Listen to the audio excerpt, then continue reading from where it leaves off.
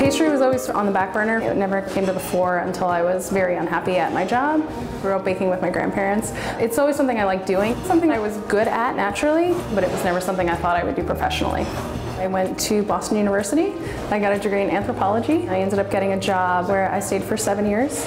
I decided to go for a tour at ICE, and the next day I signed up.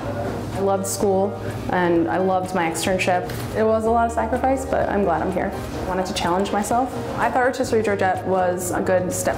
When we're looking at new hires, we have a lot of confidence knowing that a student from ICE has developed what I would call foundation skills and a, and a foundation of knowledge. If you are a career changer, I would say think all your options through fully. Getting formally trained was important to me. Having the basic foundation, you need that. I wouldn't be able to do what I'm doing. I'm really happy that I chose to go to school. Life is short, and if you're not happy where you are and you have a passion elsewhere, go for it.